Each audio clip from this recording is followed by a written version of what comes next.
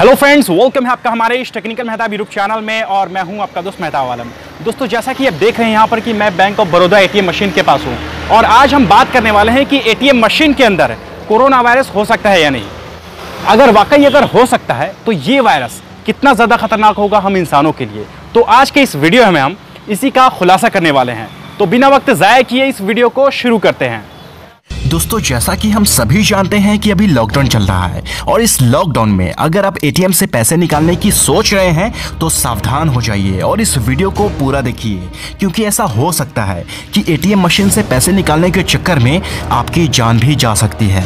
इसलिए इस वीडियो को गौर से देखें, समझें और अपनों के साथ शेयर भी करें, ताकि वो लोग भी अलर्ट हो सके। एटीएम एटीएम यानी ऑटोमेटेड टेलर मशीन अब सवाल ये उठता है कि क्या एटीएम मशीन के अंदर कोरोना वायरस हो सकता है? तो इसका जवाब है जी हाँ ऐसा बिल्कुल हो सकता है। इनफैक्ट ऐसा हुआ भी है। तो चलिए पहले हम चलते हैं एटीएम के अंदर। एटीएम में जाने से पहले कुछ बातों का खास ख्याल रखना पड़ेगा। एटीएम में जाने से पहले हमें मास्क पहनना चाहिए, उसके बाद ग्लव्स। चलिए हम ग्लव्स भी पहन लेते हैं। दोस्तों, इस चीज़ को हल्के में ना ले। हमें सावधानी बरतने की सख्त ज़रूरत है। अगर आपके पास मास्क और ग्लव्स नहीं है तो मास्क की जगह रुमाल को टू टाइम्स फोल्ड करके उसे इस्तेमाल कर सकते हैं और ग्लव्स की जगह घर में पड़े पॉलिथीन को यूज़ कर सकते हैं। लापरवाही न दिखाएँ सेफ्टी और प्रिकॉशंस का खास ख्याल रखें। दोस्तों, ये भी याद रखें, अगर एटीएम में भीड़ हो तो वहाँ सोशल डिस्टेंस बनाए रखें। अगर एटीएम का दरवाज़ा खुला है तो ज़्यादा बेटर है। अगर खोला नहीं है तो पहले हाथ में ग्लव्स पहन लें। अगर ग्लव्स नहीं है तो पॉलिथीन पहन लें। उसके बाद ही खोलें। तो चलिए पहले हम एटीएम के अंदर चलते हैं। एटीएम में जाने से पहले इस एरिया को गौर से देखें। इस एरिया पे भी कोरोना वायरस हो सकता है। इवन ग्लास पे भी। क्योंकि ज़्यादातर लोग ग्लास को पुश करके ही, यानी कि गेट को पुश करके ही अंदर जाते हैं। दोस्तों एटीएम के अंदर जाने के बाद यहाँ पर देखिए। एटीएम मशीन के अंदर भी कोरोना वायरस हो सकता है और एटीएम की बाहरी सतह पर भी। और ये जो एरिया है, एटीएम स्वाइप करने का, यहाँ पे भी कोरोना वायरस हो सकता है। खैर, यहाँ पर हम एटीएम स्वाइप करते हैं और जानते हैं कि कहाँ कहाँ कोरोना वायरस हो सकता है। चलिए एटीएम स्वाइप कर लेते हैं। अब देखिए यहाँ पे यहाँ पे जो कीज है ऊपर में, इस पे भी कोरोना वायरस हो सकता है। क्योंकि लैंग्वेज विड्रॉ करने का जो ऑप्शन आता है, उसको सेलेक्ट करने के लिए इन सब कीज का इस्तेमाल किया जाता है। और पिन एंटर करने के लिए यहाँ पे जो कीपैड है, इस पे भी कोरोना वायरस हो सकता है। याद रखें, जब भी पिन डालें तो ऐसे कवर करके ही डालें, वरना आपका बहुत बड़ा नुकसान हो सकता है। और जितना कोशिश हो सके एटीएम के जो पार्ट्स हैं, उसको कम से कम टच करें। ऐसे ही बेवजह कीज ना दबाएँ।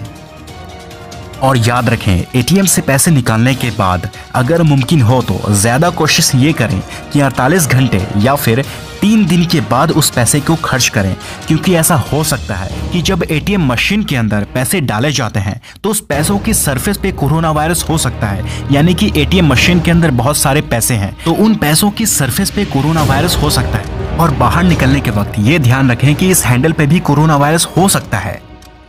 अब आप सोचेंगे कि मैं आपको बहुत ही ज़्यादा डरा रहा हूँ। जी नहीं, मैं आपको डरा नहीं रहा, बल्कि बता रहा हूँ। और यही सच है क्योंकि गुजरात में तीन लोगों में कोरोना वायरस की पॉजिटिव केस पाए गए हैं। जाँच में पाया गया कि इन तीन लोगों ने एक ही एटीएम मशीन का इस्तेमाल किए थे और पता नहीं इस लापरवाही की वजह से कितने लोगों में अभी तक कोरोना वायरस फैल चुका है और कितने लोगों की मौत हो चुकी है, इसका कोई अंदाज़ा भी नहीं है। दोस्तों, अगर आप जानना चाहते हैं कि कोरोना वायरस कितना ज़्यादा खतरनाक है और इसकी वैक्सीन कब बनेगी, वैक्सीन बनने में क्या क्या प्रोसेस है, वो सारी की सारी चीज़ें मैंने अपने वीडियो में बताई है। तो ये वीडियो देखने के बाद इस वीडियो को जाके ज़रूर देखें। अगर आप एटीएम फ्रॉड से बचना चाहते हैं तो इसके ऊपर मैंने एक डेडिकेटेड वीडियो बनाई है। तो ये वीडियो देखने के बाद इन दोनों वीडियोस को जाके ज़रूर देखें।